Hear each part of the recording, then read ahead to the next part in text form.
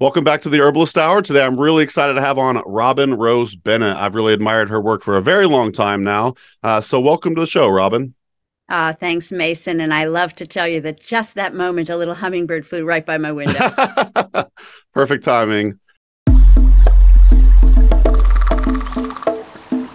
Welcome to the Herbalist Hour. This is where community gather, merging the power of people and the flowers, the sweet and the bitter to the salty, the sour. Umami, it's time for the Herbalist Hour. I don't know if you know this or not, but I first met you, I want to say, at the Portland Plant Medicine Gathering, and you did the keynote. This was back in 2014, and you actually signed your book uh, for me, The Gift of Healing Herbs, one of your books. Uh, and actually, at the time, I was having herbalists sign their books to my daughter. So this is like one of 30 books probably that Amelia has.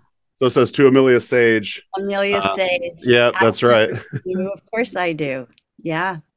Yeah. So thanks for that. Uh, you have a, a, newer book coming out, which we're going to talk about a little later on. But for now, I'd like to get to know Robin a little bit more. Hey, Robin, what were you like as a kiddo? Ah, I was extremely shy. I know it's hard to believe, right? Totally. I, I was extremely shy and very um, kind of held in, really self conscious.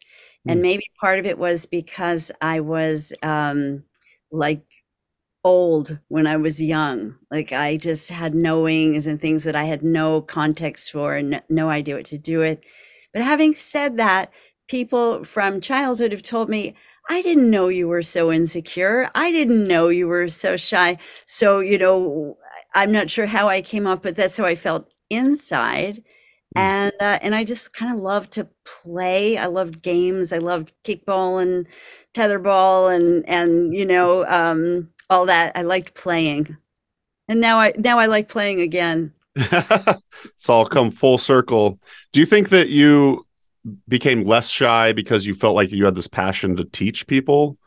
Uh, so you felt compelled that you had to be kind of more outgoing?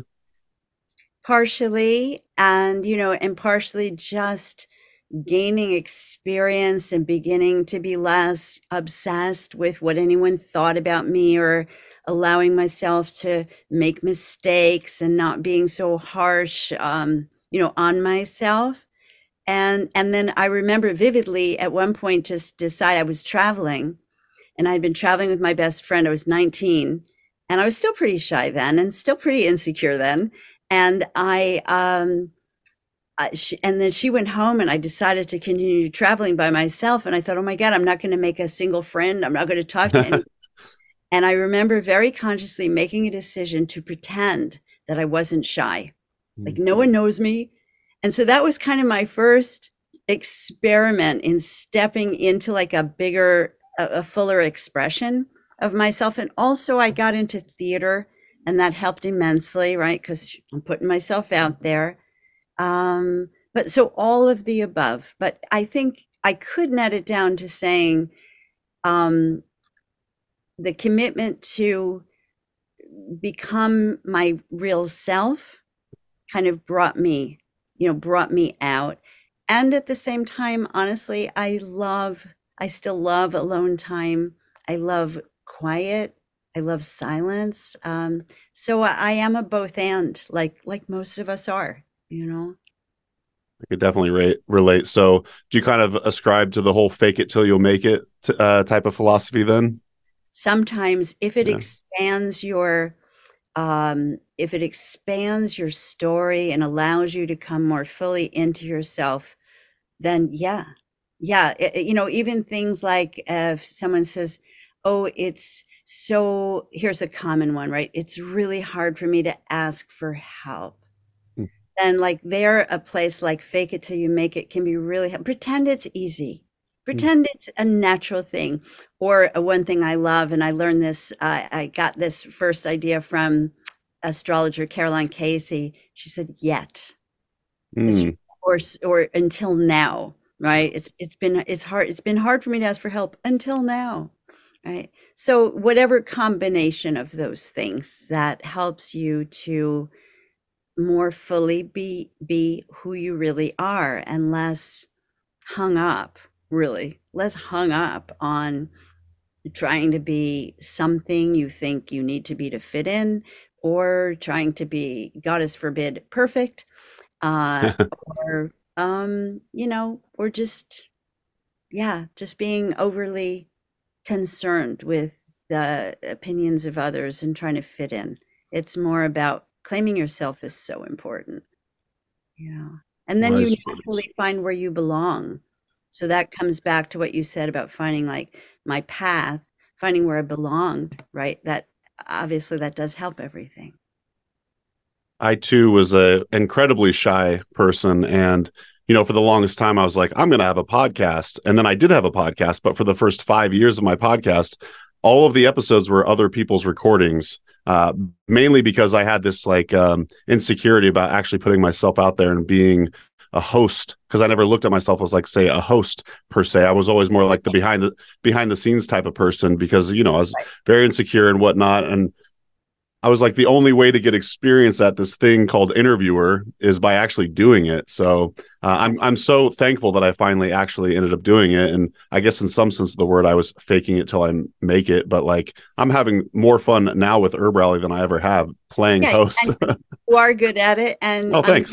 you you know that you you know I think it's harmful to push ourselves, but it's healing to stretch ourselves. Mm, perfect. Yeah. Well said. Thanks. So at 19, you said you were, uh, you know, in a new location, trying to make friends and whatnot. You started doing theater and whatnot. When did you start your, um, like, say, green witch path, or when did you start getting into herbalism and whatnot? Mm-hmm. Well, interestingly, I started getting into herbal medicine. Let's see, I was already deeply into like my uh, spiritual path. Mm.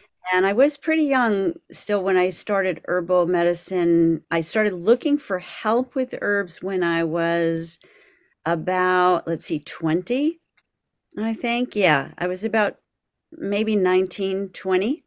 It was when I came home from those world travels. I went, I, I lived, I grew up on the East Coast.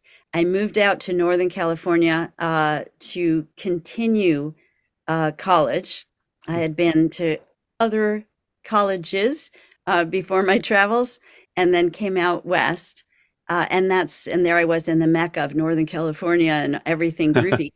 right. And so I went to my first herbalist, and that really is the thing that started me, even though what uh, my experience with the herbs that I took and he gave was they were undrinkable, they tasted awful.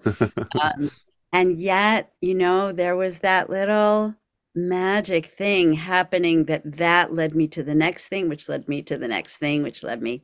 So and it's been unfolding ever since. Yeah ever since then. So did you end up going to the california school of herbal studies i did not i was at the university of california in santa cruz then gotcha and then when i graduated it with a degree in creative writing actually because really i am a writer who's also an herbalist. I'm not an herbalist who's writing books only because I want to get my herbal info out. Like the writing is just, if not as much my soul work, more my soul work. It's mm-hmm. it's really a um, yeah, it's, it's what I, I, must do. And uh, you know, as far as being an herbalist, I must be with the plants and make my medicines and this and that. As far as teaching about them, it's it's well, who knows, right? It, it's been a beautiful path to to date um, but the writing is really the the heart and soul um, central to me.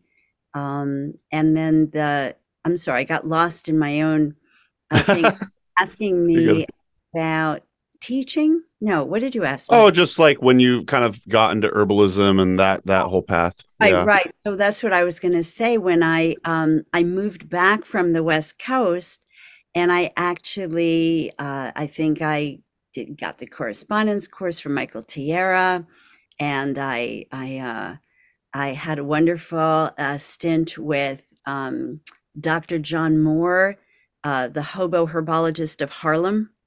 Uh, he was he was quite a character, and I remember having I so I did my first ten years of as an herbal teacher in downtown Manhattan. Right, that's where the nickname the Green Witch of New York came from right? That has stuck, even though it's been decades I've lived in Manhattan.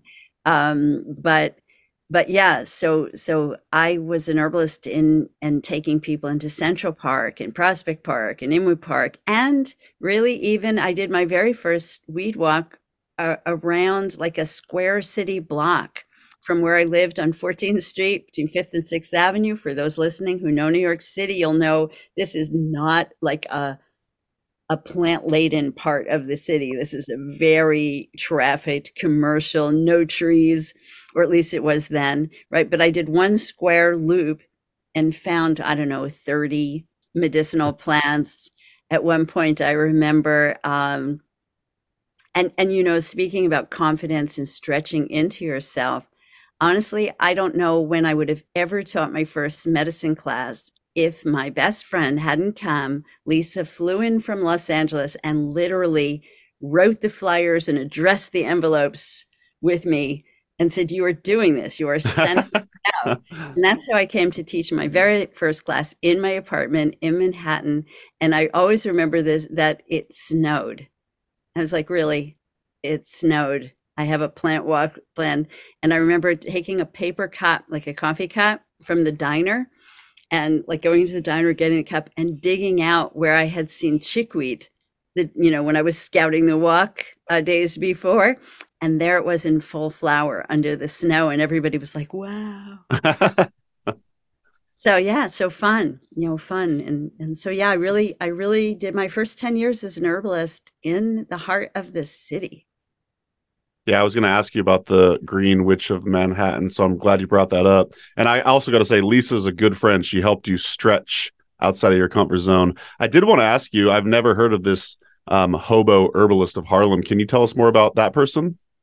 Yeah, he was well known in his own, you know, community, and he was a, a, a guy from the South, I believe, and he had a store that was famous. Um, back in the day called the Wisdom Tree, and I think it was in Georgia.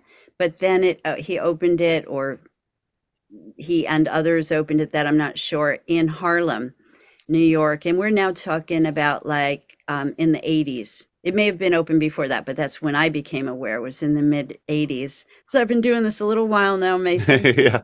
And um, yeah, and so Dr. John Moore and uh, I have even some of his not books, but like big thick booklets, and he kind of went all over and and in, in terms of you know everything from iridology to herbal to very spiritual, and um, yeah, it was it was wonderful, it was wonderful, and then it was Susun Weed who taught me to that I could learn from the plants themselves right? So that is uh, all of these, you know, formative influences uh, are very important and probably most important. And I would venture to guess you agree, but I'll ask you um, is that the kinship, the kinship uh, is with the plants and through the mm-hmm. plants with all of nature has been the most beautiful, unexpected, side effect, if you will, of coming to herbs for for physical healing and just having this whole world of relationship open um it's extraordinary right well said. And yeah, it just reminds me of getting into herbs in my early 20s. My first relationship with herbs and herbalism was in uh, dried, cut and sifted herbs in mason jars on, on shelves, which is great. You know, I think that's an intro for a lot of people. But it wasn't until I took my first herbal apprenticeship where I, we actually went into the old growth forests in Oregon with, at the Columbine School of Botanical Studies. And we, you know, we sat down with the flowers with our loupes and looked at tiny flowers in the old growth forest and you start seeing through like the quote unquote wall of green and you start developing these strong relationships with all these plants and their natural habitat uh, it totally blew my mind and like you said it's extraordinary. It's it's so much beyond a relationship with uh, uh, dried cut and sifted herbs in mason jars. In mason's jars. Mason's. yes that's right. I, I have yeah, an appropriate I, name. Yeah i uh yeah absolutely. Yeah. I, I mean it it's true and even when i came back from my first apprenticeship i got a job in a in a well-known herb shop in the city aphrodisia herbs they also had like a big mail order um, kind of place in brooklyn um, but i was in the west village in greenwich village Greenwich Village, Greenwich Village, Ah. whichever you want to say. See. And uh, and and I remember like going up to the herbs in the jars and whispering to them, if you weren't harvested with respect and gratitude, Hmm. you know, I'm sorry, and know that I am receiving you with that. And I thought, well, I mean, that was, you know, that was kind of a great practice uh, uh, to just start that process of connecting where I could. And I did come home from the apprenticeship and like go out to the parks and say, oh my God, I didn't learn anything. Everything just looks green. How am I ever going to know one plant from another? And it takes time Yeah, absolutely. right? It time. It takes time and dedication and devotion. But again, I, I came into herbs really just looking for answers to health problems, or at least consciously, right? Because 10 years into being a practicing herbalist and herbal teacher, I learned that my mother's grandmother, Esther, had been a renowned herbalist Wow. for her, I presume for mostly her Russian Jewish community in Brooklyn, though I don't know that for a fact that it was limited. Um, I'm just, that's an educated guess. But when I learned that she had been that, I said, Oh, you mean she helped the family? And my great uncle Max said, No, no, there would be lines waiting for her. I'm like, Oh, wow. It's awesome. Yeah, this was 10 years in. So I love that our just this little bit of our conversation. What we're saying to people listening is that you could be in the streets of Manhattan and you could be in the old growth forest, right, up in Oregon, Yeah. and you can enter into the this ever expansive kinship uh, with the natural world through these generous beings we call plants. I just interviewed Asia Suler. I'm not sure if you're aware of her work or not, but um, I am, yeah. yeah. So she was talking about also living in New York City, and she would hang out with the trees at the city park and uh, start to create altars around the trees, and people would be fascinated by that and come up to, to her and talk to her about it, and then start maybe sometimes even participating in it. And yeah, like you said, no matter where you're at, you could uh, build relationships with the nature around you. Yeah, she gave me a great compliment a short while ago. She told me that my book, Healing Magic Green Witch Guidebook to Conscious Living, helped her know that it was possible for her to become this brilliant. Well, she didn't say that. I'm saying that. she is Uh, though, yeah, she is. That very much know, so. that is. So I was very, very um, touched and honored, really, to receive that uh, that compliment. And in fact, she endorsed uh, the pocketbook, the new book that you'll talk about whenever you get to that. Yeah, we're we're we're chugging along here. We're almost there. Actually, I was first. I actually was hoping you could de- define what a green witch is. Uh, well, I can define what a green witch is to me. Oh, please, yeah, well said. Okay, so a green witch is a person um, who is uh, engaged with the magic of nature, particularly through the green world, through the plant people, the trees, the plants, the seaweeds, the mosses. And so a green witch can be an herbalist, right? I mean, I think, first of all, I just think it's an affectionate term for an herbalist, uh, a Yeah. green witch. And it's been applied probably more to women, but it's for anybody. And um, but it's it's one who not only knows that that every everyone, can we say, in nature is sentient, but that is also like in engaged with that sentience. And um, I like to think that a green witch can be an herbalist, but a green witch could also enact their magic through their art, right? Or be a, you know, they could be a green witch doctor, or they could be a green witch writer, or a green witch, you know, gardener, anything, right? So it's not just an herbalist. It's it's more open than that, I think. So that's how I see it. Love it. Well, it's a nice segue because yeah, you did. Well, you are when we're releasing this episode next week. Uh, your book will be out, and dear listener, please go pre-order uh, because pre-order book pre-ordering books really helps the authors out. So, uh, Robin Rose has a new book coming out. Uh, it's called A Green Witch's Pocket Guide. Did I get that right?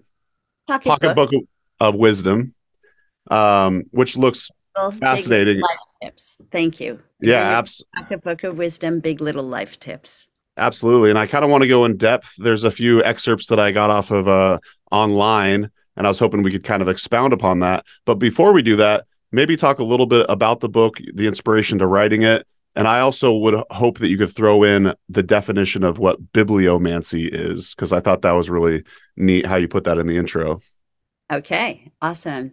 Awesome. So, the inspiration for writing the book is really understanding through my work with so many people over so long that um, that we need tools, we need guidance uh, in order to navigate um, this thing called life on Earth, and particularly now in this time that is so pivotal um, and so evolutionary right? I really i think of it as the evolutionary chaos of now.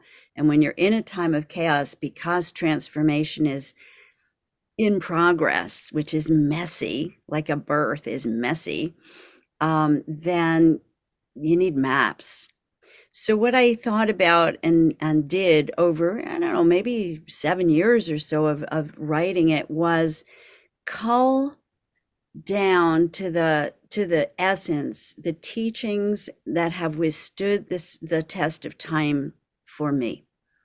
And that as i've shared them with others they've helped so many others. So they're both from my original spiritual work that i did for about 10 years before i really became an herbal teacher um, and from the herbal world. So it's earthy and it's it's it's transcendent and immanent immanent meaning referring to the the spirit in everything that's manifest. That's another beautiful word um, that editors kept correcting correcting. When i wrote they said do you mean imminent like it's just about to happen. I'm like no imminent with an a means it's in within the stone within the dandelion so the pocketbook is like a, a four by six book because i love to have a little book that i can open like every day and ask for a message about something or just like general guidance for the day, guidance for this conversation, whatever it is. And that's bibliomancy.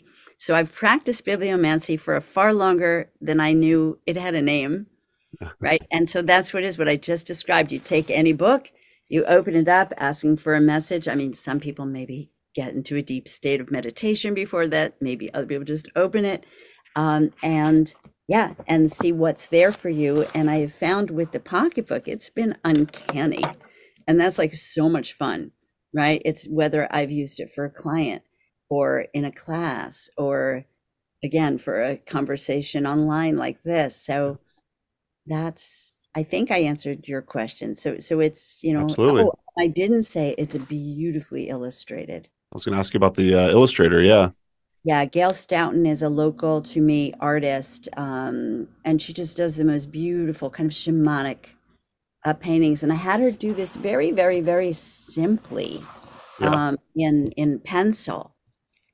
So they're black and white, um, but they're so evocative. Like because each page has like basically a one or two lines of wisdom, and then a little bit of explanatory paragraph. I wasn't going to do the explanatory, but then people I showed the book to early on said, "You have to." You have, you must. You you Yeah. can't just leave it at that. Um, people need a little bit more. And so, you know, what I also saw, uh, Mason, was that even like I started this before the height of COVID hit and all of that, but I saw that these are the things that have stood the test of time through really difficult, difficult things, through personal losses in my life that were devastating um, my partner um, got ill and passed about 10 11 years ago out of out of the blue um, and then you know through the covid height of covid years i wish i could say through the years as if it was over but we're, we don't know yet what's going on. Um, these are these teachings have held up just like herbalism has held up in a big way right through covid through helping people regain health. Um, yeah so i wanted to share them because they work. They, they work if we work with them Just a quick break from the show to thank our presenting sponsor, Oshala Farm. Oshala Farm is a beautiful and vibrant certified organic herb farm based in southern Oregon, where they grow and sell over 80 different plant species. The founders, Elise and Jeff Higley, have been longtime friends, so I highly trust their growing methods and ethics. You'll love the potency and vibrancy of all the herbs they have to offer. To learn more and purchase their herbs and other organic goods, head to oshalafarm.com so thanks once again to Oshala Farm for sponsoring the Herbalist Hour. Now back to the show. Enjoy. That's one thing I love about your teachings is you you always infuse story, but then also like uh, like your philosophy and, and everything um, into your into your writing as well. So it's not just like you know uh, herbalism at its you know uh, simplest form, but yeah, I, I always love hearing your stories and everything. So um, thank you for sharing. Yeah, and, and you said um, you said that readers were hoping you could uh, what would you say like have the initial sentence but then even more of an explanatory uh, paragraph or so afterwards. So what we're going to do here if you don't mind i'll read the opening sentence and then the paragraph and then maybe you could even talk a little bit more about that. So we'll go even deeper. Okay. That, that'd be great. And again i got these off the internet. So um, this one is um, open to oh and you know what else i was going to say? For those uh, watching on youtube i'll try to get some of the pictures of some of the beautiful artwork and throw it up on the screen as well. Okay. Um yeah like in post post edit. Yep totally. I can help you with that yeah. Awesome. So this first one here is uh, open to magic. As you open yourself to seek and discover the magic of life you'll find it is everywhere. You'll become a magnet for helpful synchronicity. Magic will find you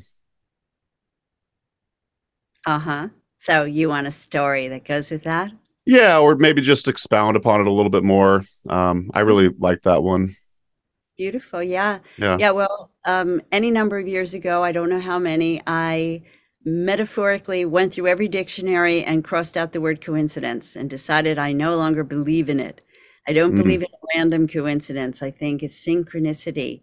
And the more, you know, if you're we're we're rather been rather shamed out of a um, animistic worldview, right? Like if your next door neighbor um, sees you talking to a bird, you might be embarrassed, right? Or right, we've been shamed out of this living relationship.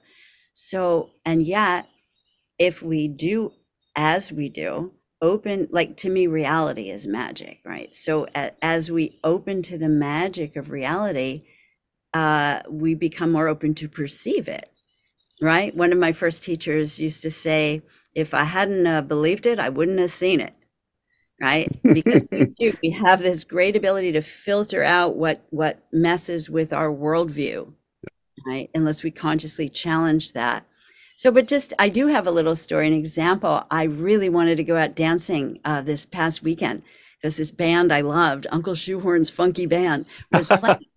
and nobody I knew wanted to go out dancing. And finally, I'm like, you know what?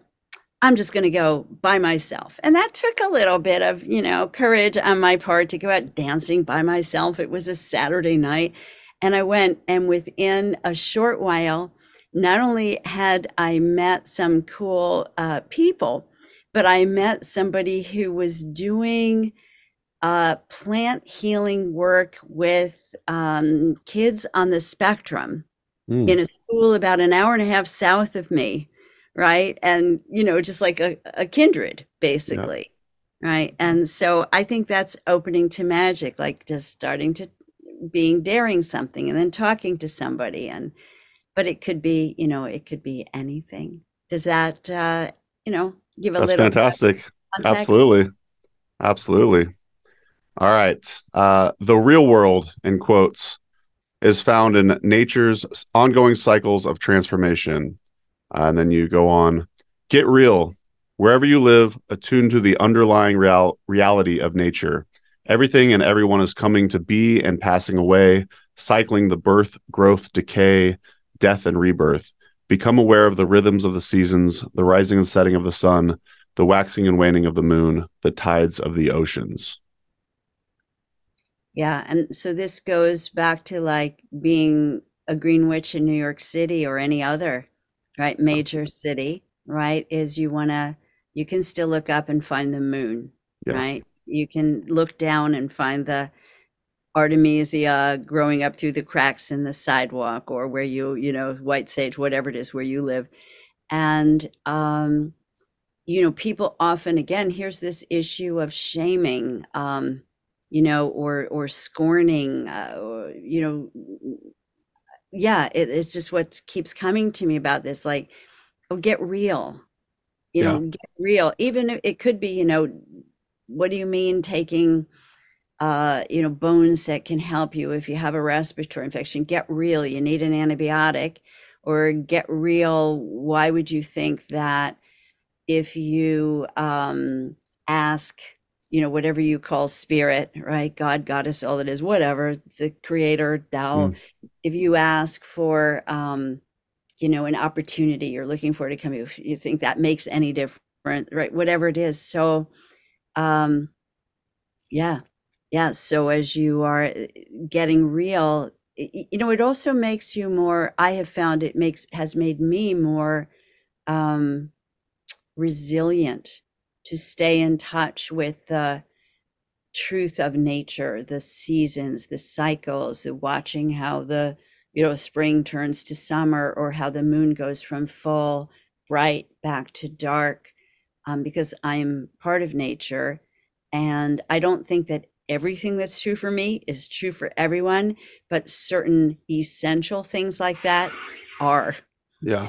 essential things like that are true for everyone. It's still that's the real world Yeah. right? Not the world of commerce or the world of you know dominator culture uh, thinking. That's not the real world.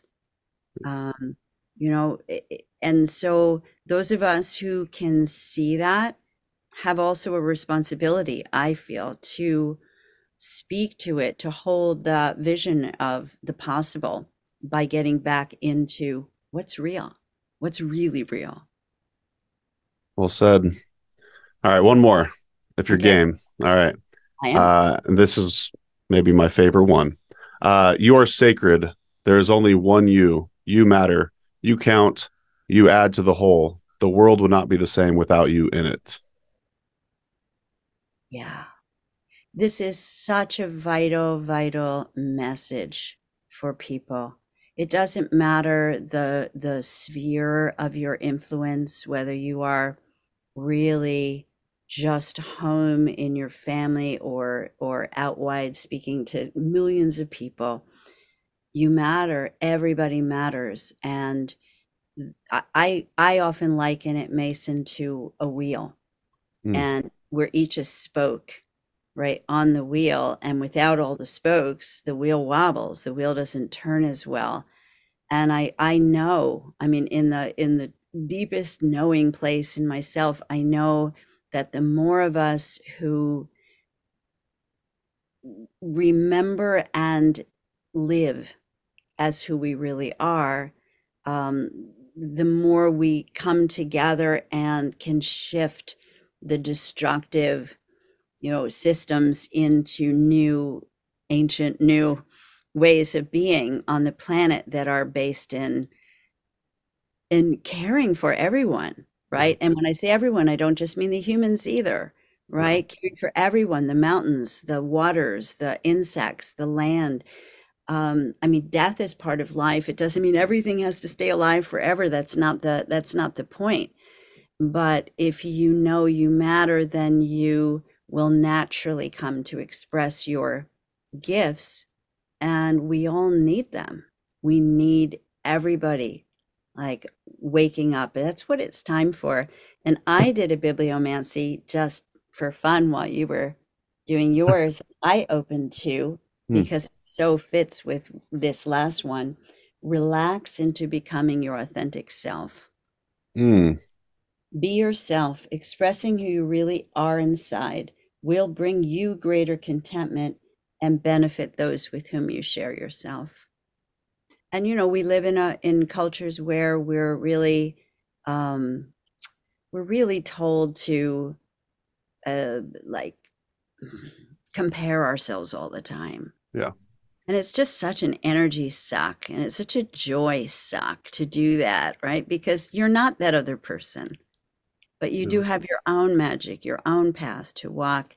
And I love how the plants help with that because the plants just do. They know who they are. We take them into us, or we sit with the oak tree or the dandelion, and they help us know who we are. And we can start anywhere. We can start with, you know, with, you know, drinking pine because uh, because you know we have a little cough, right? But its spirit medicine is still gonna be translated to us, and pine is also the tree of peace, right? So it's going to help us come to more inner peace. The plants do their thing, however we enter into it. I really love that last message. Yeah, it reminds me of when I was younger and say shy. I used to wish to be older, which I, I don't know, I can't quite recall, but I feel like you said something kind of similar. But I remember thinking, I can't wait to be an old person because I'd give less shits, uh, because I gave a lot of shits. Um, I was incredibly anxious all the time. Um, and now that I am getting older, uh, one thing I've noticed that has helped me become much more happy uh, and fulfilled is I'm kind of going back to a lot of the things that I liked as a child. Go figure, you know. So that like sense of play, and wonder is uh, coming back. So I, I, just really appreciated that last one. Yeah, I mean, and it's absolutely true that that is what happens, right? You, you more self-aware, less self-conscious, yeah. more interested in pleasing yourself yeah. than pleasing others. Right. And I remember, um, you know, and indigenous wisdom and Green Witch wisdom often I find are very, very um, braided, very akin. And I remember uh, Keewaydinoquay saying that, talking about early training of the children uh, and you know having like basically the various um, the various like uh, uh, you know jobs i can't think of the right word right the jobs that people do and having them kind of in a circle and the little children like little like two and three years old you're going around and the adults simply observing what mm. they were drawn to. Oh, this one was drawn to the tools. This one was drawn to the baskets. This one was drawn to the medicines. This one, because it's true what you said when we are little, right? We do naturally reveal mm. who we are inside. And and I found an old movie from when I was, I don't know, maybe I was two, maybe I was a little less. And I'm running up to the to the camera right? It was, uh, I guess it was an eight millimeter then, right? I'm mm-hmm. running up to the camera and holding up, and it takes up the whole camera face, a dandelion flower. Mm. And I thought, ah, so I have no sense of of being like connected to plants or caring about it. And there, maybe I was, you know. I love that. That reminds me of when I was younger too. Also pre like fascination with with herbalism, I would try to blow the dandelion seeds everywhere to try to help spread them. uh, see, you knew, and and our I guess body, so. Our great truth tellers. Our bodies really do reveal. And this is something I can just say as a really general thing. It just comes to me to share with you who are listening and here with us, either live or later, yep. right? Is learn to listen to your body because that is a very good barometer of what's true for you or not true for you. Like how how something that's said lands in you how it feels how it resonates. And the other gift of that is it helps us all to um, to come home to being in our bodies which for me was definitely a journey. I was absolutely more you know, in the ethers and spiritual and the old soul who would come in, right? I was right. like, oh, oh, I don't know if I want to be here. It's sort of hard and messy and people are mean and unity, you know, all that stuff. And and then uh, and I mean I say it lightly, but it wasn't it didn't feel light at the time, right? Yeah. Um I was in my head, right? I was in my head a lot more of the time than I was in my body. And uh and then the plants brought me home to being in a body, which was like a really big thing that I had no expectation of at the time. And that is where joy lies. That is where, like, you can have spiritual highs, but sustainable joy comes when you can come home and really walk in your body on the earth so that you're physical, mental, emotional, and spiritual without any hierarchy among them. So if I was grateful to like if I had to pick one thing that I was the most grateful to the plants for over everything, it would be this joy. Hmm. Love and that. health, health Yeah. too. I'm gonna say health is a really big gift. Um, but Yeah. living with joy was just honestly, it wasn't something that I thought would be something I would have. Yeah. um, in in that real solid sustainable way and then i bet you found this too mason because you're you're you're in touch with so many people that working like learning to be in relationship with the plants then translates over to your relationships with humans Absolutely. Yeah. Yeah. Yeah. And they become juicier too Yeah, I love the herbal community for that reason. That's a bunch of funky, cool, in touch people. eccentric Yeah. Um, uh, diverse uh diverse you know, Multi-talented. multi-talented artistic yeah, Yeah. so and, and fun and That's kind of right. and and yet you know it's the, the full spectrum right the full spectrum So thank you for sharing all that. So I I love how we, you know, brought up that word bibliomancy and I kind of feel like is that when you when you when someone purchases your book and, and gets it, is that kind of what you hope they do is they they flip through the book with the intention set and then they kind of just sit with the phrase and kind of um uh just kind of do what we did just there, kind of just how does this um yeah how do I internalize this? Yeah. yeah i mean my thought is that if somebody everybody will just be true to who they are maybe they'll just read through the whole thing Yeah. Um, or they'll use it in this oracular way that we're talking about as an oracle. And then i think that if there's something that really speaks to you that makes you stop or or or weep or something that maybe you're to choose to pick a period of time you want to work with that right? It could just be like a daily but it could also be like hey for you know from spring equinox to summer solstice i'm gonna i'm gonna practice this and see what that brings to me or opens in me. Um so i you know i look forward to hearing the creative ways that people do want to uh either work with this book or you know how how you want to read it is up to you like getting it into your hands and you discovering what what feeds you is is up to you. Um so i don't know that i hope people use it uh, uh, as an oracle Yeah. uh, but i think it lends itself to that and that um you know a lot of these teachings I- i'm not like standing on any on any, any uh, pedestal these are the practices that i have used do use and will always use Yeah. because it's always a practice right everything is a practice and so i just hope i just hope they serve people and readers find the ways that even if only one page out of all of them or one illustration served to you know liberate some aspect of a person or wake up something or give permission right? To give permission for some part to come alive uh, then i'll be very gratified So you use the word oracular. Do I do I re- recall correctly on your one of one of your websites you have like a giveaway for a tarot reading if there's a pre-order? Do you want to talk about that? Yeah, sure. So if you are, so here's my thank yous. My thank yous are the following. If you pre order the book in the month of October, there's a form to fill out on my site, Robin Rose Bennett Books, that will then give you a link to download a beautiful um, booklet, a PDF, uh, uh, you know, a digital booklet of um, of herbal recipes for meditation, dreams, and deepening intuitive wisdom. They're really kind of they're they're really good, beautiful variety of recipes, and um, and my apprentice designed the booklet. It's it's gorgeous. And then, in terms of what you just said, anyone, if you choose to review uh, a Green Witch's pocketbook, and you there's instructions written out, right? But basically, if you review the book by November 25th, you and tag me let me know on Instagram, then you will get entered into a contest to win a free tarot reading with me. And I'll pick the winner on my birthday, which is November 26th, which is why you have until the 25th. So there's longer amount of time to uh, get entered into the tarot contest if that. Calls you. And whether it does or not, of course, you know, good reviews are super helpful too.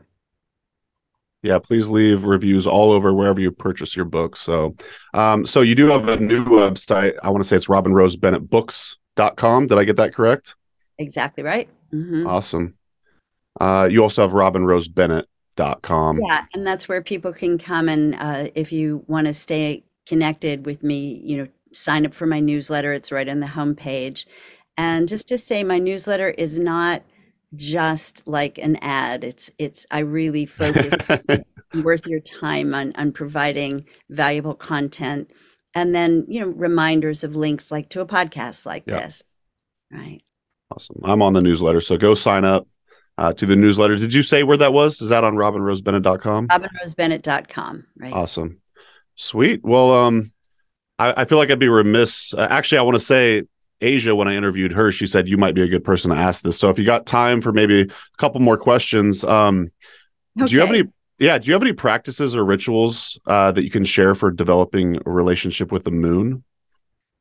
Oh yeah. Oh, yeah, let's sure. hear, let's hear one. Yeah, um, uh, Amanda, my wife, would really love to hear that too. So Ah, uh, so I'm I'm just going to take one second and say, yeah, this book, the longest chapter in it is Moon Magic, um, okay, good to know. Yeah, but yeah, for me, the the practice I've done the most consistently in the last 35 years is um, is setting intention at the new moon. Yeah, and practicing that intention as the moon. Uh, so so the the practice. I also have a have a moon meditation people can download uh, from my site that can be helpful. But essentially, it's this, and it's, it's written out in the book. Essentially, though, it's simply this: go into meditation right around the time of the new moon, which happens every single month. Right? has to be guided towards um, something it's time for for you, a practice, right? Uh, it could be an inward thing, an outward thing, and then and then do it right and then practice that intention and and so it's a really cool thing because what you want to do is you want to um you want to grow this practice as much as you can, and it's only two weeks until the full moon. So you bring it to whatever degree of fullness it is. I'm going to just throw out a, any example. Let's say your intention is, I'm going to speak up for myself. Let's just imagine somebody's challenged with that. And so you bring it to whatever degree of fullness you can by that full moon. And maybe you've com- you realize it's full moon and you've completely not done it at all or maybe you've ventured into it a little or maybe you've done it and you've you know whatever whatever be kind be compassionate and then at the full moon to the new moon your work if you will is to integrate like whatever degree you've put it out into the world how has that shifted you? How are you embodying that? And then, in a way, like with the moon, I like to imagine that as the moon is going from brighter to darker, that light is a little bit coming into me each each night right? That that there's less light there. It's because it's coming in and making that. And i say you know practice the intention something that you want to be working on right we could probably find a better word than working on tending to and then that will bring you all the way back to the next dark moon, right? The next seed planting time, right? So you plant a seed at the moon in your imagination, right? Then you let that little plant grow as much as it can up till the full moon. And then the second half again is is embodying who am I having practiced this? I mean, once I did a kind of funny one that was very revealing to me. I, I, it's not a typical one for me. I usually do more inward, but I just think this moon, my practice is I'm not going to interrupt anyone. How'd that go? right? It was really telling how often I did. Yeah. So it was a beautiful practice in listening, right? And um, yeah, I really enjoyed it. Uh, you know i've done so many over so many months and it's a beautiful so the work with the moon i just couldn't recommend it more highly because it helps awaken your intuitive senses. Yeah and and your it's like the the solar is our outer um connectedness right? Um and the the the lunar is our inner you know our inner telepathic right connection with each other and all, you know, all things invisible, really. Thank you for sharing. And dear listener, that's your homework. So come up with an intention. And when the new moon comes, uh, try this exercise out that Robin Rose shared. Um, thank you. Um, I, that was kind of a clunky way to end. We probably should have ended with like the newsletter and all that stuff. But dear listener, Oh, please go subscribe. So you had two questions. Oh said- yeah, I guess I do. I guess there's still more that we could do. But um, Up to you. No, I think I think that's a great Well, uh, place to wrap up because otherwise I'm going to get you talking about plants and that might be a whole nother hour. So That could be I'll just could forever, right? Yeah, that's true. So I'll just say that I have been spending a lot of time with a sacred old grandmother, grandfather oak tree uh, for counsel, and that what I'm drinking right now is sassafras, elderberry, and black birch, and it's delicious. I'm drinking a mixture of linden and marshmallow, which is also delicious. Gets And me in the right headspace too. Beautiful. Okay, we had to end with a plant. That's right. well, Robin, I'd love to have you on again. I got through about half my questions, so um, yeah, you're. I just always love talking to you. You always bring so much wisdom, and uh, yeah, please go pick up Robin's new book. This will be released. I want to say the week before the pre-orders or the actual book is finally released, uh, around the October 24th mark. So, thank you once again, Robin Rose. Uh, really appreciate you joining us on the Herbalist Hour.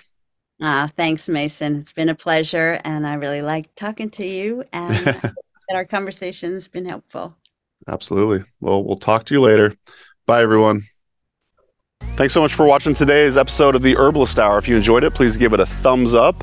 And if you want more great herbal content, be sure to subscribe to our HerbRally YouTube channel. Uh, if you enjoy these Herbalist Hour episodes and you'd like to join us live, uh, you can do so by becoming an HerbRally Schoolhouse member. Uh, learn more at herbrally.com slash schoolhouse. And if you want to get your first 30 days for free, use coupon code YouTube30 at checkout. So our HerbRally Schoolhouse members get access to exclusive video classes, monographs, and a lot more herbal community discounts, um, along with joining these live Herbalist Hour interviews. So one more time, herbrally.com slash schoolhouse. Enter coupon code YouTube30 at checkout to get your first 30 days for free. All right, we'll see you in the next episode and take care.